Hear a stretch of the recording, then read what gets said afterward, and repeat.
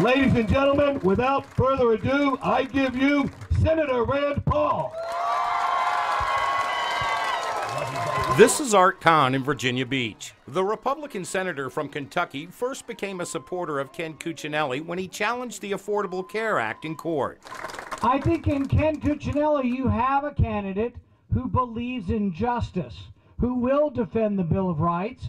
When the government gets it wrong, But right now, Ken Cuccinelli is fighting for his political life in his bid to become governor of Virginia. His Democratic opponent, Terry McAuliffe, enjoys at least a seven point lead in the polls.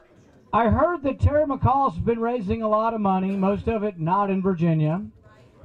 I heard that the no, the most common zip code is 90210. Anybody know where that is? So Hollywood liberals, Beverly Hills, think they can elect somebody in Virginia. But Cuccinelli and his supporters believe there is still time for a grassroots effort to turn this race around at the polls. Second District GOP Chairman Gary Byler is one of them. Oh, absolutely. We're within striking distance. I need these folks here to talk to others. Truth is our friend.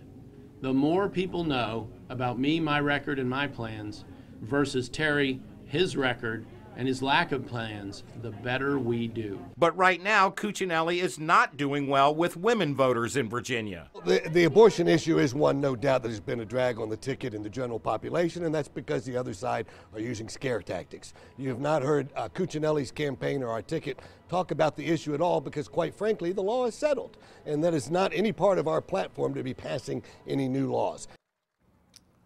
Well, I did get both the Attorney General Cuccinelli and Senator Paul to talk about their position on abortion and why they say that position is being distorted and falsely portrayed by the McAuliffe campaign. I'll share that conversation with you tonight at 6. Live from the newsroom, I'm Art Kohn.